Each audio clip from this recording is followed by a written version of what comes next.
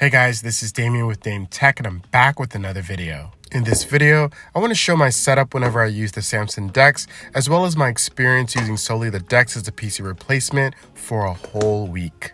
As you can see, I have my 13-inch INNOCN portable monitor that I will talk about more later in this video, a Razer mouse, Magic keyboard, and a generic dock. After having a bad experience with DeX back in 2019, I completely wrote off DeX as unusable and unstable. However, in 2023, I must admit, I was completely wrong.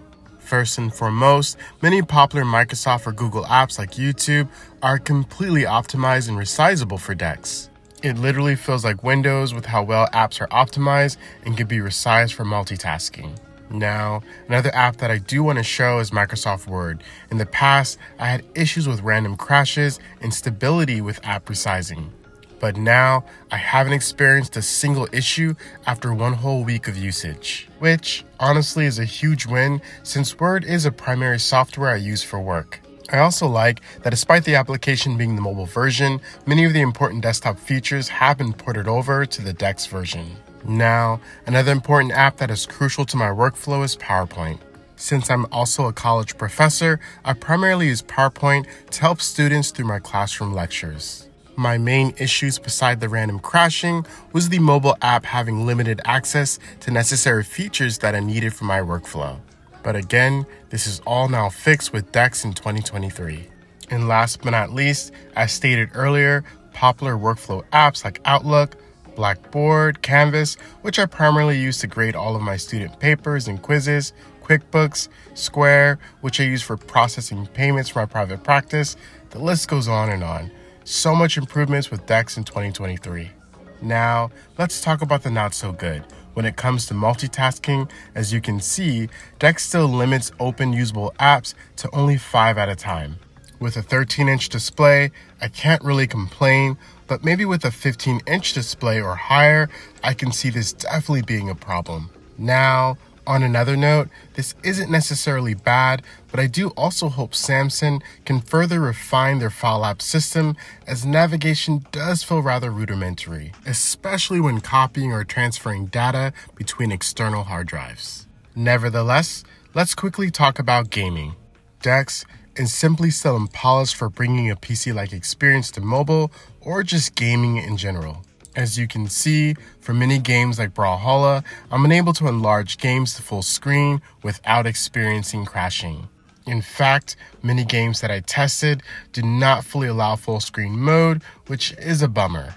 However, on the same note, to be fair, games like Brawlhalla do fully bring PC controls, which is awesome. Certain games can be played on a mouse and keyboard or even with a controller. Here I have the new GameSir controller, working perfectly with Samsung DeX. The gaming experience is flawless when it actually works. Speaking of flawless, despite being a rare exception, there are games like Albion Online that brings a full PC-like experience to the DeX. This gives me so much hope for the potential gaming possibilities Samsung DeX could provide. Albion Online is a PC MMO ported to mobile and it runs flawlessly. Now again, this is rare as many games can barely even open or they crash when enlarged or limited to touch controls. But seeing Albion Online play like this just shows the gaming potential Samsung could bring to the DeX. Imagine being able to play COD Mobile or even Warzone Mobile with a mouse or keyboard when activating DeX. Man, that would be awesome. All in all, I was completely wrong about Samsung DeX as it is now a great PC replacement when it comes to multitasking and light work. Gaming, on the other hand, still needs a lot of work and optimization from the devs. But on a quick note, again for those interested, I did add a link to the description below for those interested in picking up this portable OLED monitor that works perfectly for Samsung DeX.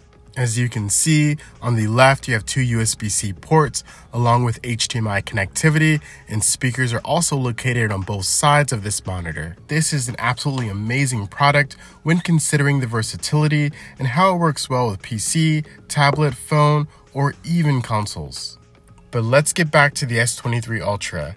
Again, I was completely wrong about the Samsung DeX because in 2023, the DeX is completely usable and a true PC replacement for those doing administrative or light work.